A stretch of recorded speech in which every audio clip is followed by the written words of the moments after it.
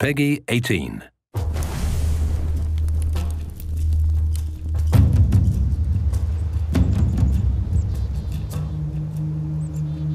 Something that was really important for us for Primal was to make sure um, the stories happening in the world were really uh, intertwined. It's part of the Far Cry DNA. You fight the way you want, you have all the toys you want, you can uh, explore the way you want. It's really a game that's about freedom and uh, letting the player decide how he wants to play. The player will be Takkar, Stone Age hunter, looking for uh, his lost people, the Wenjas. The Wenja tribe has been uh, destroyed, scattered around by two very different but very aggressive tribes. In order to reunite the Wenja, Takkar uh, will need to uh, go uh, and explore uh, all Oros to try and find the key members of the tribe and get them into a safe haven.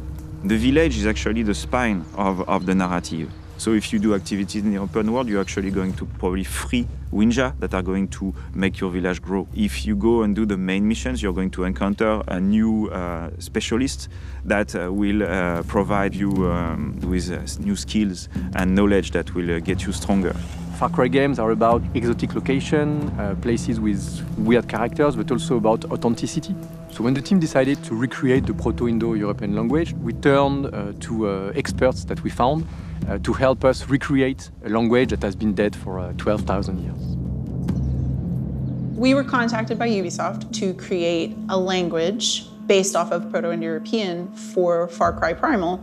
First, we thought it was going to be something small, and then it became clear that the entire game was going to be in at least two, if not three, versions of Proto-Indo-European, which is huge. So Proto-Indo-European was a language that was spoken thousands of years ago. It's the source of many languages that are spoken today, uh, languages like English and Spanish and, and Russian, but also the source of ancient languages like Latin, Greek, and Sanskrit.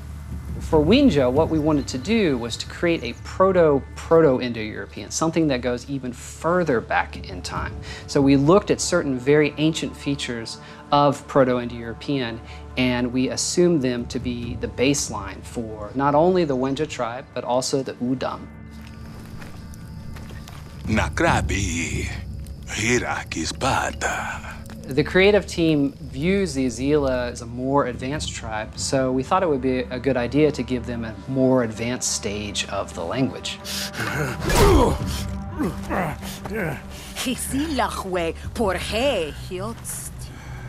Sometimes we ran into problems where there weren't words that we can reconstruct for Proto-Indo-European. So for example, we know of about 20 different roots for the verb to shine, we have no idea how they said yes.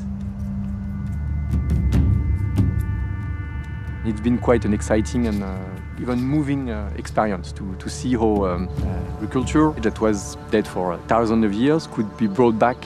We like to produce games that are set in uh, in places or times uh, where, in addition to have fun, you could learn a little something or discover uh, something that is part of our world and our cultures. It's this kind of uh, experience we also wanted to show in, uh, in Primal, show a bit what was the life of uh, Stone Age hunters.